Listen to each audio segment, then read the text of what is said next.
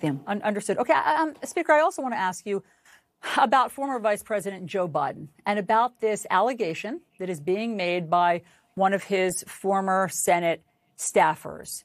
Um, do you think that it is time for Vice President Biden to address this head on himself?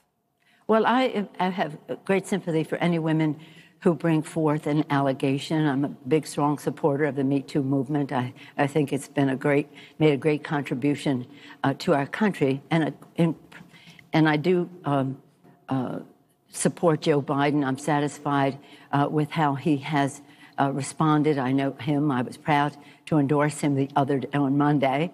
Very proud to endorse him, uh, and so I'm, I'm satisfied with that. Uh, I mean, he hasn't. To be clear, he hasn't addressed it. His campaign has addressed it, but he has not directly addressed it. Should he directly, publicly address it?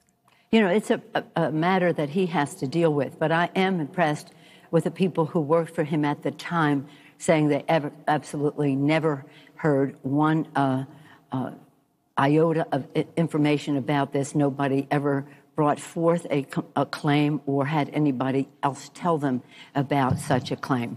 Uh, but again, we have a, um, a, an important election at hand, one that is, I think, one of the most important ones that we've had. We say that every election, but I think this one is the most crucial. And I, I supported him because he's a person of great values, integrity, authenticity, imagination, uh, and a connection uh, to the American people. He understands the kitchen table uh, issues of America's working families. His father lost his job when he was a boy. He knows what that feels like for a family and how they're going to pay their bills, their health bills, the education of their children, supporting the seniors in their families and the rest.